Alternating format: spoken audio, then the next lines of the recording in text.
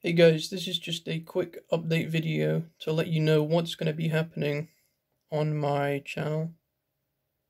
So I'm changing from daily uploads to weekly. Uh, I'll probably be posting on Saturday or another day of the weekend. Uh, and this should hopefully help me make better videos that aren't complete shit. Uh, as for the giveaways, uh, I'll just do them every video instead of every seven. Uh, yeah. See you on Saturday. Have fun.